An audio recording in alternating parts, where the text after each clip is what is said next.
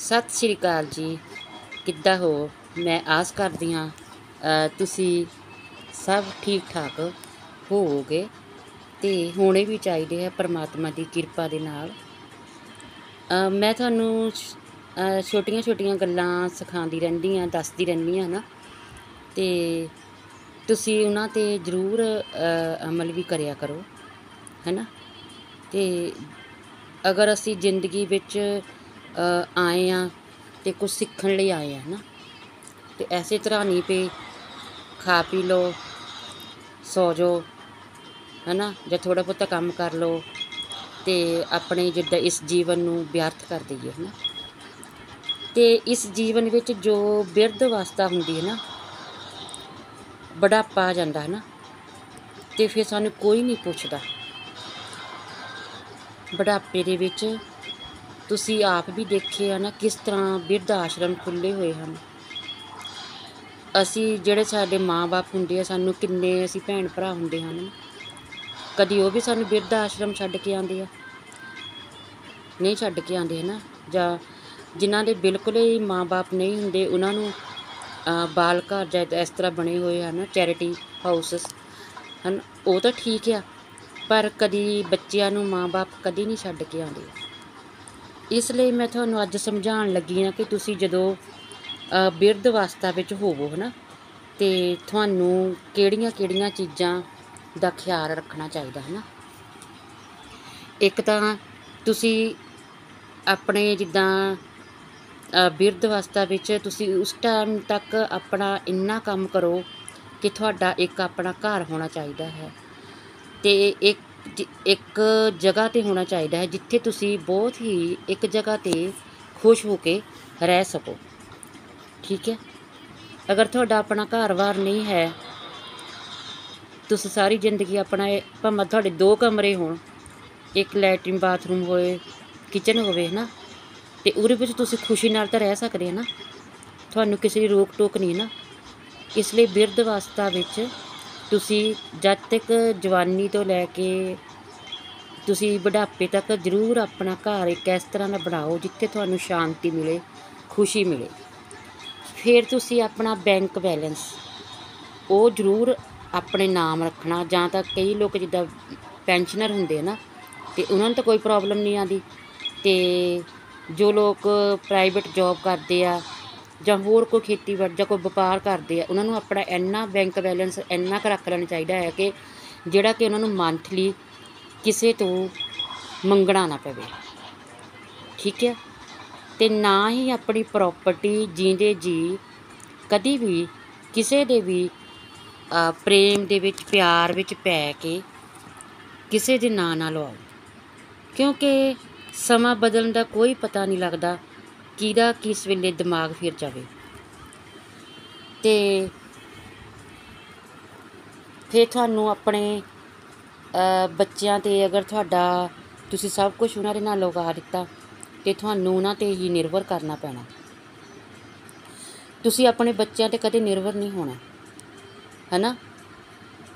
ਅਗਰ ਤੁਸੀਂ ਆਪਣਾ ਬੈਂਕ ਬੈਲੈਂਸ, ਆਪਣੀ ਪ੍ਰਾਪਰਟੀ, ਆਪਣੇ ਨਾਮ ਰੱਖਿਆ ਹੈ ਨਾ, ਉਹਨਾਂ ਨੂੰ ਪੜ੍ਹਾ ਲਿਖਾ ਦਿੱਤਾ, ਉਹਨਾਂ ਨੂੰ ਸੈੱਟ ਕਰ ਦਿੱਤਾ ਤੁਸੀਂ ਆਪਣੇ ਲਈ ਜ਼ਰੂਰ ਆਪਣੇ ਬੁਢਾਪੇ ਲਈ ਹਸਬੈਂਡ ਵਾਈਫ ਜੇ ਦੋਨੇ ਜੀ ਹੈ ਨਾ, ਤੁਹਾਨੂੰ ਇਸ ਤਰ੍ਹਾਂ ਨਾ ਪਛਤਾਣਾ ਪਵੇ ਕਿ ਤੁਹਾਡੇ, ਤੁਹਾਨੂੰ ਕਿਸੇ ਤੋਂ ਮੰਗਣਾ ਪਵੇ।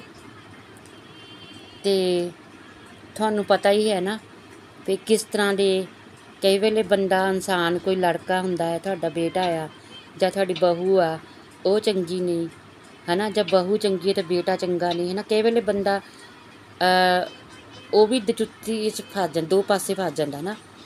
ਇਸ ਲਈ ਤੁਸੀਂ ਉਹਨਾਂ ਨੂੰ ਪੜ੍ਹਾ ਲਿਖਾ ਦਿੱਤਾ, ਉਹਨਾਂ ਦੇ ਵਿਆਹ ਕਰ ਦਿੱਤੇ ਤੇ ਉਹਨਾਂ ਨੂੰ ਕਾਮਯਾਬ ਕਰ ਦਿੱਤਾ। ਤੁਹਾਡੀ ਜ਼ਿੰਮੇਵਾਰੀ ਮੁੱਕ ਗਈ, ਠੀਕ ਹੈ। ਬਾਕੀ ਜੋ ਤੁਸੀਂ ਆਪਣੇ ਲਈ ਹਸਬੈਂਡ ਵਾਈਫ ਲਈ ਲਈ ਰੱਖਣਾ ਆ, ਉਹ ਤੁਸੀਂ ਜ਼ਰੂਰ ਰੱਖਿਆ ਕਰੋ। ਕਿਉਂਕਿ ਬਾਅਦ ਵਿੱਚ ਵੀ ਉਹਨਾਂ ਦਾ ਹੀ ਹੁੰਦਾ ਹੈ ਨਾ। ਆਪਣੇ ਜੀਂਦੇ ਜੀ ਜ਼ਰੂਰ ਰੱਖਿਆ ਕਰੋ। ਬਾਕੀ ਤੁਸੀਂ ਉਹਨਾਂ ਲੋਕਾਂ ਨਾਲ ਆਪਣੀ ਜਿਹੜੀ ਦੋਸਤੀ ਰੱਖਣੀ ਹੈ, ਜੋ ਤੁਹਾਨੂੰ ਦੇਖ ਕੇ ਖੁਸ਼ ਹੋਣ। ਮੈਂ ਤੁਹਾਨੂੰ ਇਹ ਬੁਢਾਪੇ ਦੇ ਜੋ ਬਿਰਧ ਅਵਸਥਾ ਦੀ ਉਹ ਗੱਲਾਂ ਦੱਸ ਰਹੀ ਹਾਂ। ਉਹਨਾਂ ਲੋਕਾਂ ਨਾਲ ਰੱਖਣੀ ਰੱਖਣੀਆਂ ਜੋ ਤੁਹਾਨੂੰ ਦੇਖ ਕੇ ਖੁਸ਼ ਹੋਣ। ਤੁਹਾਡੇ ਕਦੀ ਨਾਰਾਜ਼ ਨਾ ਹੋਣ। ਤੁਹਾਡੇ ਨਾਲ ਦੁੱਖ ਸੁੱਖ ਤੁਸੀਂ ਉਹਨਾਂ ਨਾਲ ਫੋਲ ਸਕੋ, ਹੈਨਾ? ਤੇ ਬਾਕੀ ਕਦੀ ਵੀ ਤੁਸੀਂ ਆਪਣੀ ਤੁਲਨਾ ਜੋ ਜਵਾਨੀ ਦੇ ਵਿੱਚ ਜੋ ਤੁਸੀਂ ਖੱਟਿਆ ਜਾਂ ਜੋ ਤੁਸੀਂ ਤਰੱਕੀ ਕੀਤੀ, ਉਹ ਨਾ ਕਰਿਆ ਕਰੋ। ਠੀਕ ਹੈ? ਤੇ ਕਿਉਂਕਿ ਤਾਂ ਉਸ ਟਾਈਮ ਤੁਹਾਡਾ ਕੋਈ ਵੀ ਸੁਣਨ ਵਾਲਾ ਨਹੀਂ ਹੁੰਦਾ। ਤੇ ਨਾ ਹੀ ਤੁਸੀਂ ਕਿਸੇ ਤੋਂ ਕੋਈ ਉਮੀਦ ਰੱਖਿਆ ਕਰੋ।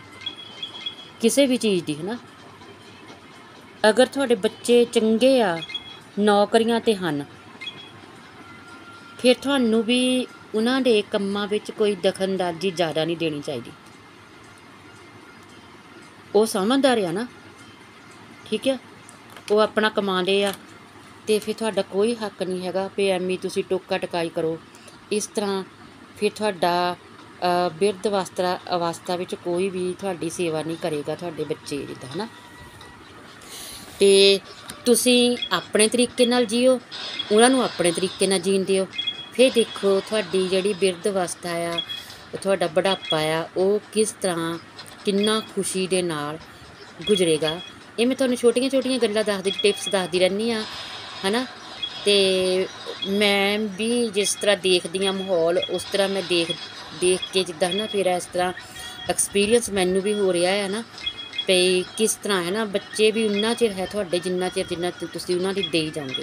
ਅਗਰ ਤੁਸੀਂ ਬੁਢਾਪੇ ਲਈ ਆਪਣੇ ਲਈ ਕੁਝ ਨਾ ਰੱਖੋਗੇ, ਮੈਂ ਇਹ ਨਹੀਂ ਕਹਿੰਦੀ ਤੁਸੀਂ ਉਹਨਾਂ ਨੂੰ ਕੋਈ ਬਦਖਲ ਕਰ ਦਿਓ, ਤੁਸੀਂ ਪ੍ਰਾਪਰਟੀ ਰੱਖੋ ਹੈ ਨਾ ਆਪਣੇ ਨਾਮ ਤੇ।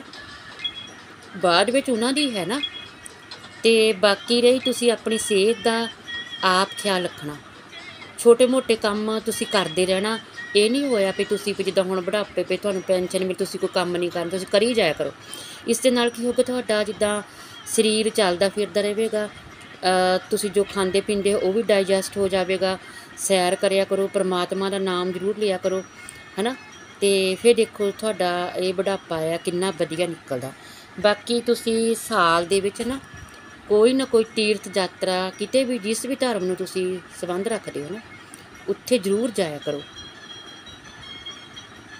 ਕਿਉਂਕਿ ਉਸ ਦੇ ਨਾਲ ਤੁਹਾਨੂੰ ਊਰਜਾ ਮਿਲੇਗੀ, ਪਰਮਾਤਮਾ ਦੇ ਵੱਲ ਤੁਹਾਡਾ ਧਿਆਨ ਜਾਵੇਗਾ ਤੇ ਤੁਸੀਂ ਦੀਨ ਦੁਨੀਆ ਤੋਂ ਇਸ ਤਰ੍ਹਾਂ ਆਪਣੇ ਜੋ ਬੰਧਨ ਹੈ ਤੁਹਾਡੇ, ਹਨਾ, ਉਹਨਾਂ ਤੋਂ ਤੁਹਾਨੂੰ ਹੌਲੀ ਹੌਲੀ ਛੁਟਕਾਰਾ ਮਿਲਣਾ ਲੱਗ, ਮਿਲਣ ਲੱਗ ਜਾਵੇਗਾ ਤਾਂ ਕਿ ਤੁਹਾਨੂੰ ਜਦੋਂ ਇਸ ਦੁਨੀਆ ਤੇ ਜਾਓ ਤਾਂ ਤੁਹਾਨੂੰ ਕੋਈ ਇੰਨਾ ਤਕਲੀਫ ਨਾ ਹੋਵੇ। ਤੇ ਆਪਣਾ ਤੁਸੀਂ ਜਦੋਂ ਆਪਣਾ ਕੰਮ ਆਪ ਕਰਨ ਲੱਗੋ, ਆਪਣੀ ਸਿਹਤ ਦਾ ਤੁਸੀਂ ਆਪ ਖਿਆਲ ਰੱਖਣ ਲੱਗ ਪ- ਲੱਗ ਪਵੋਗੇ। ਫਿਰ ਤੁਹਾਨੂੰ ਕੋਈ ਇਸ ਤਰ੍ਹਾਂ ਚਿੰਤਾ ਨਹੀਂ ਹੋਵੇਗੀ ਹੈ ਨਾ ਖਾਣ ਪੀਣ ਦਾ ਤੁਸੀਂ ਆਪਣਾ ਚੰਗੀ ਤਰ੍ਹਾਂ ਧਿਆਨ ਰੱਖਣਾ ਕਿ ਕਿਹੜੀ ਖੁਰਾਕ ਤੁਹਾਨੂੰ ਖਾਣੀ ਚਾਹੀਦੀ ਹੈ ਸਿਆਣਿਆਂ ਲਈ ਹੈ ਨਾ ਉਸੇ ਤਰ੍ਹਾਂ ਦਾ ਹੀ ਤੁਹਾਨੂੰ ਆਪਣਾ ਧਿਆਨ ਰੱਖਣਾ ਪੈਣਾ ਆ। ਤੁਹਾਨੂੰ ਪਤਾ ਹੀ ਹੈ, ਜੀਵਨ ਵਿੱਚ ਕੋਈ ਵੀ ਚੀਜ਼ ਕੋਈ ਇੱਥੇ ਸਥਾਈ ਨਹੀਂ, ਸਭ ਨੇ ਜਾਣਾ ਹੈ ਨਾ ਤੇ ਇਸ ਲਈ ਤੁਹਾਨੂੰ ਆਪਣੀਆਂ ਜੋ ਜ਼ਿੰਮੇਵਾਰੀਆਂ ਹੈ ਨਾ, ਆਪਣੇ ਬੱਚਿਆਂ ਦੀਆਂ ਨਾ, ਉਹ ਜਿੰਨਾ ਜ਼ਿਲ੍ਹੇ 'ਚ ਤੁਸੀਂ ਨਾ ਅੱਧ ਘੜ ਜੇ ਹੁੰਦੇ ਆ ਨਾ, ਜਾਣੀ ਕਿ 55 60 ਦੇ ਵਿੱਚ ਵਿੱਚ ਹੁੰਦੇ ਉਸਲੇ ਤੱਕ ਤੁਹਾਨੂੰ ਖਤਮ ਕਰ ਦੇਣੀਆਂ ਚਾਹੀਦੀਆਂ, ਉਸ ਤੱਕ ਤੁਸੀਂ ਵਿਹਲੇ ਹੋ ਜਾਣੇ ਚਾਹੀਦੇ ਆ। ਤੁਸੀਂ ਇਸ ਤਰ੍ਹਾਂ ਦਾ ਆਪਣਾ ਸ਼ਡਿਊਲ ਬਣਾਓ ਕਿ ਤੁਹਾਨੂੰ ਜਿੱਦਾਂ ਤੁਹਾਡਾ, ਤੁਹਾਨੂੰ ਕੋਈ ਐਵੇਂ ਚਿੰਤਾਵਾਂ ਬੁਢਾਪੇ ਦੇ ਵਿੱਚ ਹਨਾ, ਤੁਹਾਨੂੰ ਬੱਚਿਆਂ ਦੀਆਂ ਹੋਣ ਹਨਾ ਤੇ ਬੱਚਿਆਂ ਨੂੰ ਤੁਸੀਂ ਇਸ ਤਰ੍ਹਾਂ ਪਹਿਲੇ ਦਿਨ ਤੋਂ ਉਹਨਾਂ ਨੂੰ ਇਸ ਤਰ੍ਹਾਂ ਹੀ ਸਿਖਲਾਈ ਦਿਓ ਕਿ ਉਹ ਆਪਣੇ ਆਪ ਹੀ ਆਪਣੀ ਸਟੱਡੀ ਕਰਨ ਤਾਂ ਆਪਣੀ ਜੌਬ ਲੈਣ ਹੈ ਨਾ ਤੇ ਤੁਸੀਂ ਜਾਂ ਕੋਈ ਕਾਰੋਬਾਰ ਕਰਨਾ, ਉਹਨਾਂ ਨੂੰ ਕਾਰੋਬਾਰ ਵਿੱਚ ਉਹਨਾਂ ਨੂੰ ਜਾਣੀ ਕਿ ਸੰਪੰਨ ਕਰੋ, ਨਿਪੁੰਨ ਕਰੋ। ਅਗਰ ਜੌਬ ਕਰਨਾ ਹੈ ਤਾਂ ਫਿਰ ਤੁਸੀਂ ਉਹਨਾਂ ਨੂੰ ਪੜ੍ਹਾਈ ਵਿੱਚ ਨਿਪੁੰਨ ਕਰੋ ਹੈ ਨਾ ਜਾਂ ਕੋਈ ਕੰਮ ਸਿੱਖਣਾ ਚਾਹੁੰਦੇ, ਉਹਦੇ ਵਿੱਚ ਕਰੋ। ਕੋਈ ਵੀ ਹੈਗੀ ਜ਼ਿੰਮੇਵਾਰੀ ਤੁਸੀਂ ਛੇਤੀ ਆਪਣਾ, ਜਾਣੀ ਕਿ 55 60 ਦੇ ਵਿੱਚ ਵਿੱਚ ਆਪਣੀਆਂ ਜ਼ਿੰਮੇਵਾਰੀਆਂ ਤੋਂ ਮੁਕਤ ਹੋ ਜਾਇਆ ਕਰੋ। ਤੇ ਫਿਰ ਤੁਸੀਂ ਜੋ ਵੀ ਆਪਣਾ ਧਿਆਨ ਆ, ਆਪਣਾ ਸਿਹਤ ਦਾ ਰੱਖਿਆ ਕਰੋ। ਤੇ ਤੁਹਾਨੂੰ ਕੋਈ ਕਿਸੇ ਤੋਂ ਮੰਗਣਾ ਨਾ ਪਵੇ, ਇਸ ਲਈ ਆਪਣਾ ਬੈਂਕ ਬੈਲੈਂਸ ਰੱਖਿਆ ਕਰੋ। ਤੇ ਆਪਣੇ ਲਈ ਘਰ ਰੱਖੋ ਜ਼ਰੂਰ। ਤੇ ਇਹ ਗੱਲਾਂ ਮੈਂ ਤੁਹਾਨੂੰ ਜੋ ਸਮਝਾ ਰਹੀ ਹਾਂ, ਜ਼ਰੂਰ ਤੁਹਾਡੀ ਜ਼ਿੰਦਗੀ ਵਿੱਚ ਕਾ- ਕਾਮਯਾਬ ਹੋਣ ਲਈ ਤੁਹਾਨੂੰ ਇਹ ਬਿਰਧ ਅਵਸਥਾ ਬੁਢਾਪੇ ਦੇ ਵਿੱਚ ਜ਼ਰੂਰ ਕੰਮ ਆਉਣਗੀਆਂ। ਤੇ ਹੋਰ ਵੀ ਬਹੁਤ ਸਾਰੀਆਂ ਗੱਲਾਂ ਆ, ਜਿੱਦਾਂ ਅਤੇ ਬਸ ਮੈਂ ਤੁਹਾਨੂੰ ਥੋੜ੍ਹੀਆਂ ਜਿਹੀਆਂ ਗੱਲਾਂ ਦੱਸੀਆਂ ਆ ਅਤੇ ਜ਼ਿਆਦਾ ਤੁਸੀਂ ਜਾਣ ਕੇ ਇਹਨਾਂ ਗੱਲਾਂ ਵੱਲ ਧਿਆਨ ਦੇਣਾ। ਅਗਰ ਮੇਰੇ ਵਿਚਾਰ ਚੰਗੇ ਲੱਗੇ ਹੋਣਗੇ ਤਾਂ ਵੀਡੀਓ ਨੂੰ ਸ਼ੇਅਰ ਕਰਨਾ ਚੈਨਲ ਨੂੰ ਸਬਸਕ੍ਰਾਈਬ ਕਰਨਾ ਅਤੇ ਐਸੇ ਤਰ੍ਹਾਂ ਦੇ ਚੰਗੇ ਚੰਗੇ ਵਿਚਾਰ ਸੁਣਨ ਲਈ ਤੁਸੀਂ ਮੇਰੇ ਚੈਨਲ ਨੂੰ ਦੇਖਦੇ ਰਹਿਣਾ ਜੀ। ਸਤਿ ਸ਼੍ਰੀ ਅਕਾਲ ਜੀ।